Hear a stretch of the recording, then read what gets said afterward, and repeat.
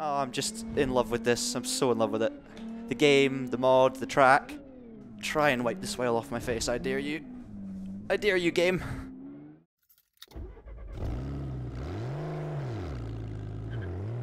Hello everybody and welcome back to the Traxion channel for another brand new video and another episode of John Tries New Things, except this week I am not trying a new thing, I am trying an old thing because last week we made a video on Live for Speed, which is now 20 years old, and you guys absolutely loved it. Everyone was reminiscing about the good old days of Live for Speed, what it's still like now, the fact that it's such a fantastic game, and this game made up a lot of my childhood as well. So I thought this week I would actually jump back on Live for Speed instead. As I was saying, LFS made up a large part of my childhood. I used to jump on the game after school with my friends and we would go on cruise servers and all sorts, but there was another element to LFS that we barely touched on in the first video, and that is the fact that you can customize layouts and make some custom autocross tracks, but you can also do it with the main circuits as well. And this opens up an entirely new area of Live for Speed, which is absolutely incredible.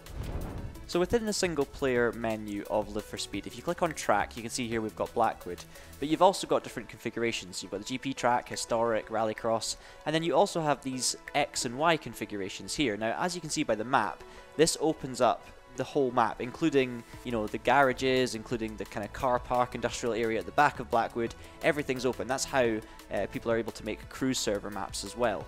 Now within these configurations, for example if I click Y here on the Blackwood GP track, we have layouts. Now these layouts can be anything, they can be drift courses, autocross courses, demolition derby courses, you name it, whatever anyone wants to make can be in here. And it's not exactly modding, it's more like a kind of track editor based thing. Now, if you go on my own personal YouTube channel and you scroll down to my first ever upload, you'll actually see that it's called LFS South City Sprint. Now, I made that video when I was about 14, and that was an important time for me and sim racing because I was only a couple of years away from jumping in a real race car and doing some hill climbs and sprints in Scotland. And this was kind of the only way where you could really practice uh, route sim racing, so from A to B, tight corners, twisty tracks, all that kind of stuff. And these uh, downloadable circuits on Live for Speed were probably the closest thing I could get. So for me, this was just a hugely important part of my childhood, and that's what I want to revisit today. Now, downloading these layouts is actually a very easy process, which I'm going to talk you through real quick right now head over to the Live for Speed forums on the main website, which is lfs.net forward slash forum, and then click on a folder called Autocross Layouts. In here you'll find a whole host of things to download, so click on one that sounds good to you, and then you download a file ending in .lyt. You then go to your LFS directory, then data folder, and then the layout folder in which you paste the LYT file. That is pretty much all there is to it because now we're on LFS. If I go into the tracks, if I click on Westhill, I click on International X, which is the configuration that's loaded here, and we have the stage. So now I click OK. And here we are. Off the line in our Westfield lookalike and as you can see, you've got this kind of custom stage. So let's just take a little drive through this one. Oh, bit of a windy bit through there, but just about survived. Oh, we've got some jumps on this one. I don't know how the suspension's going to cope with that. It's actually feeling okay so far. Tight hairpin coming up around the trees. So it's basically a rally stage. And for me, as a 14-year-old, this was just an epic way to spend an afternoon. That is told me to go left, right? I think we were meant to go straight on and go left at the next bit. But yeah, as I was saying, this was just an amazing way to spend an afternoon or an evening. And, you know, leading up to a sprint and hill climb debut a few years later, this for me was my way of preparing for the kind of short and twisty nature of a sprint event. I just absolutely love the way that these layouts involve the kind of roads around the track. You know, it's not just the circuit itself, it's the access roads, it's the bridges, it's the pit lane, the pit buildings, it's everything. And you can obviously go off-road, on-road. Oh no. Keep out of the wall. Just about. The hardest bit about these is actually learning the layouts and uh, going the right way, which is not always straightforward. So the creators of these circuits, which I will get to, and by the way, every single circuit I drive today will be available to download in the description below. But yeah, the creators also quite often add in pace notes, so you're meant to do it, you know, as a rally with a co-driver, for example. That would make things a lot easier, so you can actually learn which way you're meant to go. This car is not set up for rallying. I hope I'm still on the right tracks, but I'm really not sure at this point. Over another bridge. Try and use as much tarmac as possible and as little grass. Oh, the physics in this game with the direct drive wheel are just absolutely magnificent. This does not feel like the right way, guys. I'm lost, so uh, I'm probably going to leave that one there. So just for reference, that one was the Westhill Stage Rally by W340. That's the username of the person who created it, so go and check that one out. Uh, I'm basically in this video just going to check out a few tracks. I don't know any of these. There's a, There've obviously been a lot more created since I last did this, so I'm just very excited to kind of do a bit of exploring. There's one here in South City from the LFS Rally Pack, created by Carl Lefrancois. This is uh, a proper stage through the whole of South City. Apparently it's quite long. I'm going to do this in the Formula BMW just because obviously that brings back memories of doing South City events in the Formula BMW when I was a kid. It's also just a bit of an epic car, to be honest. We'll leave everything on default setup-wise. And uh, yeah, let's give this one a bash. Okay, all of these, of course, are one lap because they are point-to-point. -point. Now, you can do anything with these tracks as well. There's drift circuits, there's obviously rally stages on the gravel, there's the tarmac focus ones, there's proper autocross as well. There's so much you can do. Now I think we've got to stay left of the barrier here, basically. Oh no! Try again. Back underway. Got to be a little bit more careful, especially because you don't know these layouts and they're very tight and twisty. Without pace notes, I'm going to have to really, really be careful about braking nice and early and just making sure I get around cleanly. There's my marks from earlier. I don't actually have a clutch pedal as well, so I'm actually using a button on the steering wheel as a clutch, so you got to be careful in LFS. Nice and narrow bit through here. You can get a bit of speed up, but I don't know where the tight corners are going to come, so I'm just going to hit the brakes just to be safe. Obviously, as you learn these circuits, you're going to be able to go faster and faster, and that was a big part of the kind of preparation for the old sprints and hill climbs. Now, on the website, it said when the barriers were missing, just try and stay in lane. That's kind of how they've, they've worked it, because there's a limit to how many objects you can add under the tunnel. It's a very familiar corner, but we're Oh, we're stuck on a much tighter line than usual. Into the pit lane entry backwards, which then becomes the pit lane exit. Through another chicane. Around the pit buildings at the back. Such a fun little test of concentration. Trying to get this right. Got some braking markers, which really helps. We're going to brake at the 100. Just to be extra safe. Tight corner. Oh, very tight corner. Fully locked up. Full steering lock as well. It's been a pretty tidy run so far. Probably just cursed it. Another chicane coming up. Bit scared about braking points. We're going to go nice and early because we can see it. That was alright. Into another one. Easy.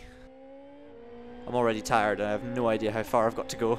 This is my first run through all of these stages properly, so I am completely clueless, and if I make it to the end, it'll be a miracle. Coming back down the hill towards what is usually flat-out left-hander. But you've just got to completely reconfigure your brain for this 314 at that split point. You can probably remember these times and have a go at them yourself as well if you have LFS. Oh, that was committed through there. Nice. Scared. Locked up. You just cannot afford on the first run through to take risks. There's a huge amount of fun that comes with learning these and just trying to get faster and faster and faster. So much satisfaction to be had. oh, it brings me so much joy. It really does. And nostalgia and everything. Oh, a jump. Oh, that's not designed for this car. You can see why this was originally designed as a rally stage. But look at this, we're in a completely different part of South City now. A part you might not even be aware of, even if you are an LFS player. I've probably got a broken car now, because you can't really turn damage off as far as I'm aware with Live for Speed. Oh, that's way more open than I expected. At least we can actually see the corners for once. A bit scared of getting up any decent speed just without knowing what's coming up. Oh, that's finish line, okay. Lack of traction finishes, we break through the Armco barrier, but 5.22 was our time. That was great fun, absolutely brilliant. For the next one, I'm going to head over to Blackwood, everyone's favourite venue, and there's a super stage here by Osen, who's a Swedish user, has created lots of stages by the looks of it. Very excited to try out this. And I also want to have a look at another element of LFS. Now this wasn't a thing when I was a kid, but we now have mods of course, and I am instantly drawn to the Ford RS200. I mean, look at it. There's also bikes as well. I tell you what, let's let's try this on a bike first.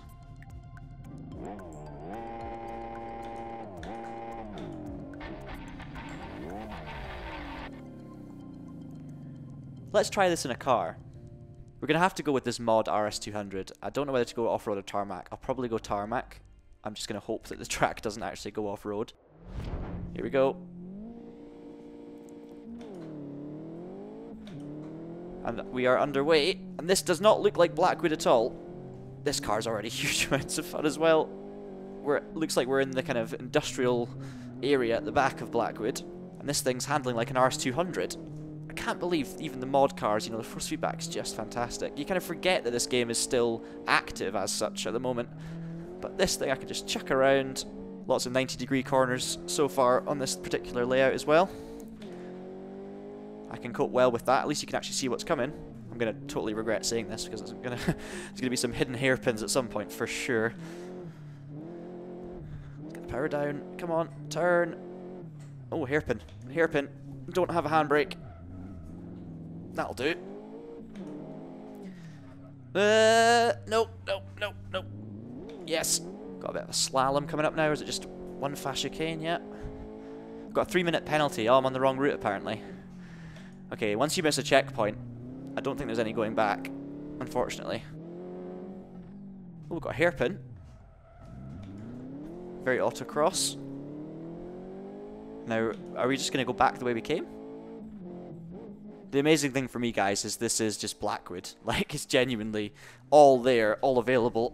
You can drive to these areas and all you need to do is add a few objects and play around a little bit and you've got yourself an amazing rally-based playground.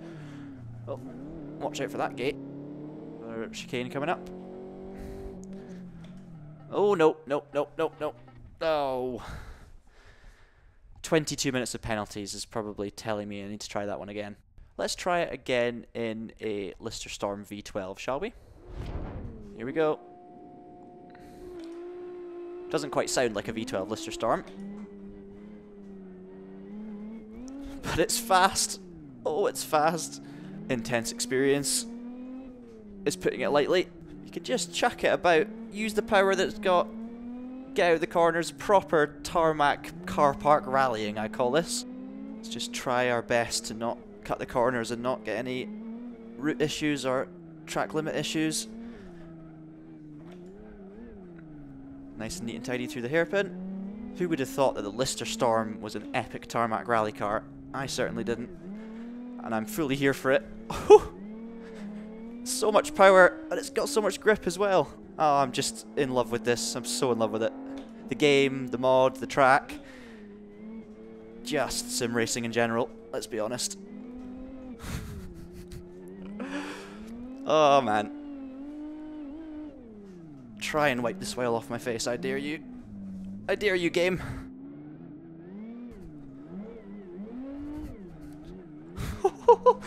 oh, that drift was going so well.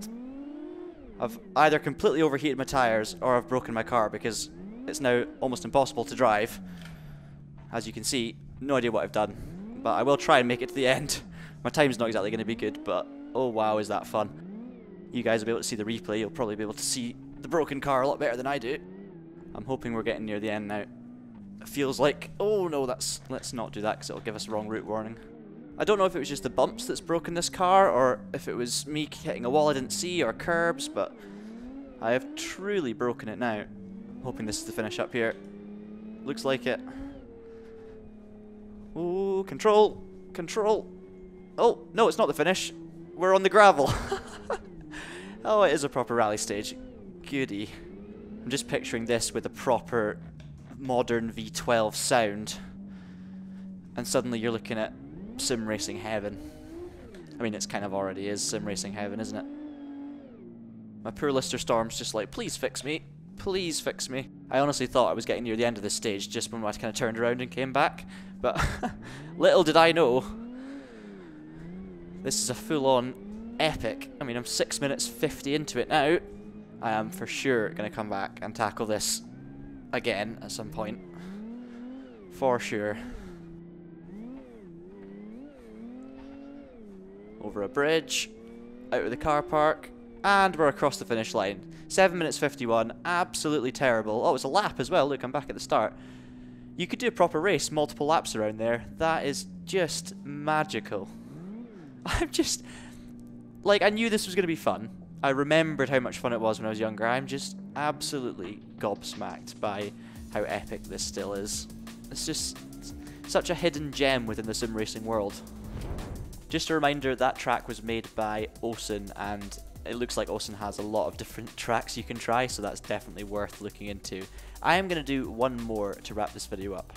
We are heading to Westhill, which is the venue for a lot of popular cruise servers, lots of wide open expanse around the main track, as you can see, and we are going to do a layout called the Lorenz Ring. This one was made by the Gamer23, again, links are in the description below, and in terms of a car, oh, do I go for it? Do I go the uh, Formula V8 maybe? To be honest, I think the Formula V8 might be a bit much, but the, the FOX, the Formula XR, is probably my favourite single-seater from the game, and this was the one that was probably closest to the hill climb and sprint car I started in, so I'm going to jump in that one. We'll make it plain red, just like the car I started with. And let's jump in and give it a go. Right then, here we go. One last hurrah. Don't need a clutch in this car as well. Pretty sure you can just change without doing any clutch damage. I hope I'm right. if not, we're not going to make it very far.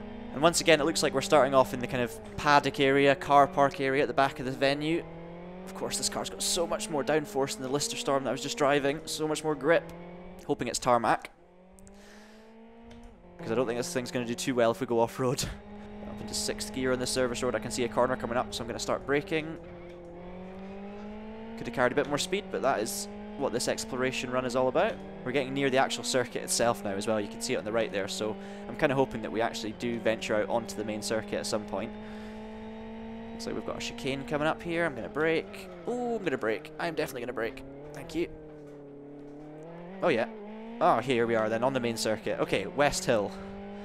I wonder how long we'll be on here before we get taken back onto a service road. This thing's maxing out at 133 miles an hour.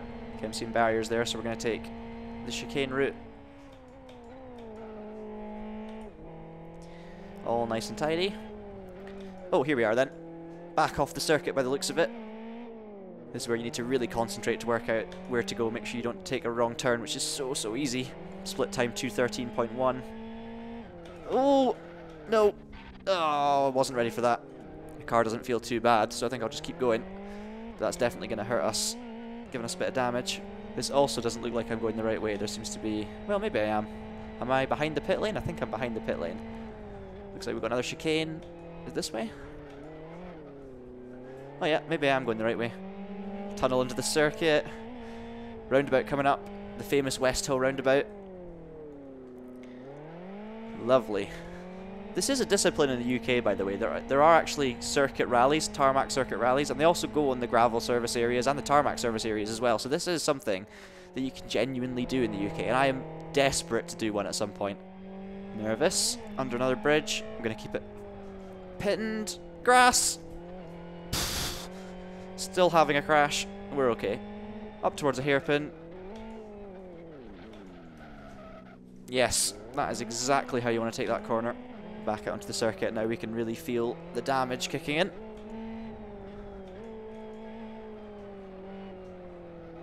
Oh, understeer central. There's actually, this, this particular layout does use big chunks of the proper circuit, which is nice. A bit different from the other ones I've tried today. And just like that, we're heading back onto a service road. Is that gravel? I hope not. No, we're okay. We're going over the bridge. Amazing. Which way? This way, I hope. Committed. Probably a stupid idea.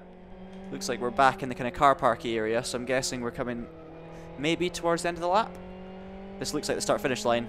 Just over six minutes to complete with a crash. Terrible driving, but nonetheless, superb fun. 6 minutes 11, lack of traction crosses.